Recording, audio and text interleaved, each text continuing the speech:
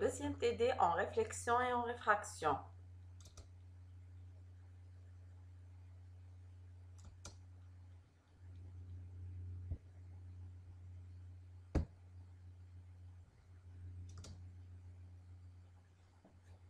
Construire dans chacun des cas euh, de figure ci-dessous la suite du rayon incident, rayon réfracté ou réfléchi, préciser dans chaque cas les valeurs des angles d'incidence I, de réfraction R ou de réflexion I'.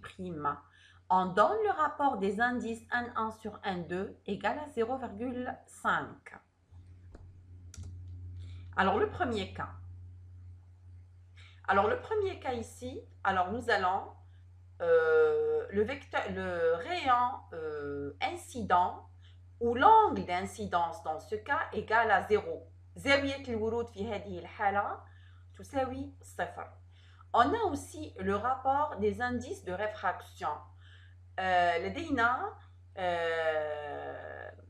العلاقة ما بين قرينتي الانكسار للوسطين N1 و N2 N1 على N2 تساوي 0.5 Le deuxième cas, on a le rayon R égale à 60 degrés.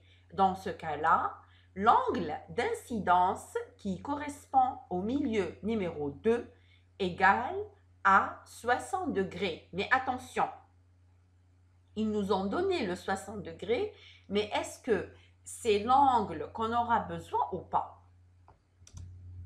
Dans ce cas-là, on a un autre angle de 30 degrés.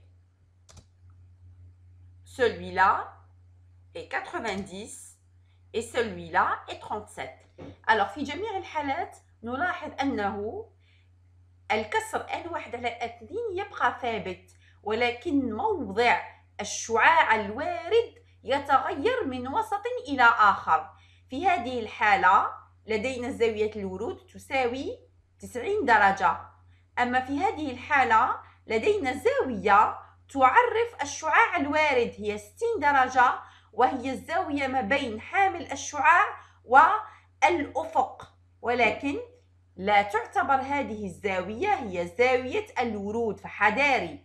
وكذلك بالنسبة ل 30 درجة في هذه الحالة لدينا 90 درجة أما في هذه الحالة لدينا 37 درجة. On commence par le premier cas.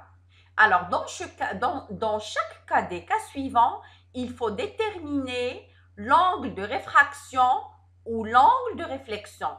في جميع الحالات يجب أن نعرف زاوية الانكسار أو زاوية الانعكاس.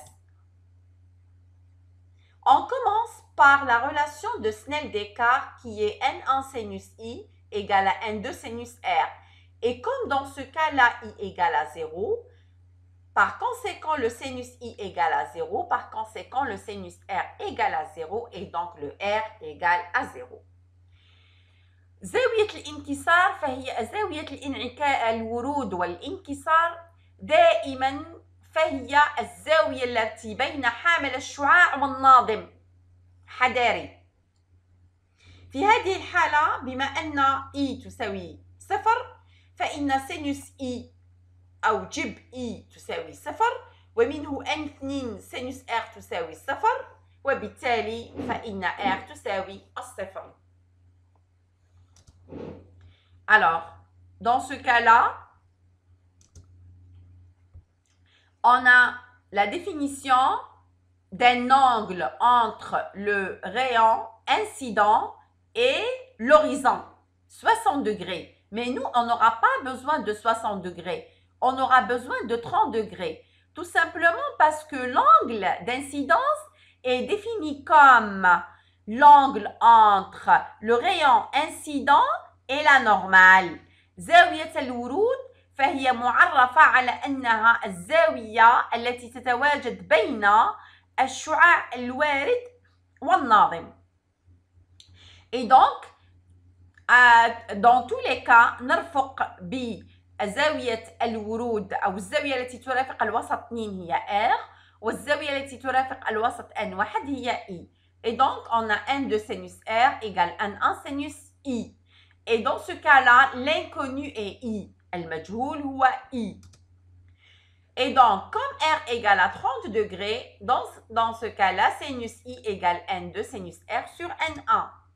Et donc, N2, comme N1 sur N2 égale 0,5 d'après les données, par conséquent, le N2 sur N1 égale à 2. بما أن في المعطيات لدينا N1 على N2 تساوي 0.5 فإنه N2 على N1 يساوي 2. Et par conséquent, sinus I, c'est 2 fois سينوس 30 درجة هي 1 على 2 وبالتالي تساوي 1 وبالتالي I تساوي 90 درجة. alors ici on a R égale 30 degrés qui va donner un angle réfracté de I égale à 90 degrés. Alors ici, on a 30 degrés, un angle de 30 degrés, mais qui nous intéresse, ce n'est pas le 30 degrés, c'est l'angle qui est entre le rayon incident et la normale qui est de 60 degrés. Donc, nous allons travailler avec 60 degrés et pas 30 degrés. Toujours, on commence par N2 sinus R égale N1 sinus I. Et comme R égale à 60 degrés, donc sinus I, c'est N2 sur N1 sinus 60. Et donc, on a N2 sur N1 est donné, c'est 2. Et sinus 60, c'est racine 2 sur 2. Et par conséquent, on aura sinus I égale à racine de 3. Et comme le sinus I, dans ce cas, il est strictement supérieur à 1, pas de réflexion, donc il va y avoir une réflexion de 60 degrés dans le milieu N2.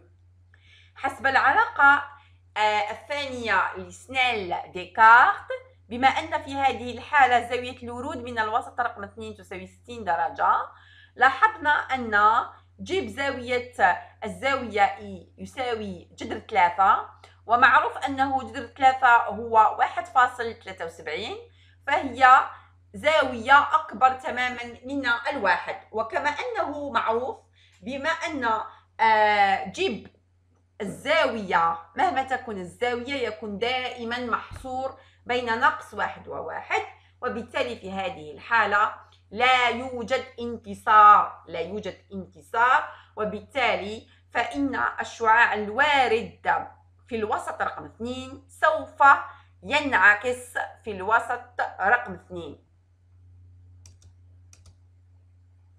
Le troisième cas, alors on a dans ce cas-là, on a dans ce cas-là le I égale à 90 degrés.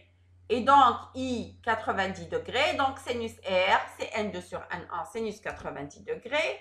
Et donc, on remarque que sinus I, c'est 2, qui est strictement supérieur à 1. Et dans ce cas-là aussi, il n'y a pas de réfraction dans le milieu N2. Pas de réfraction.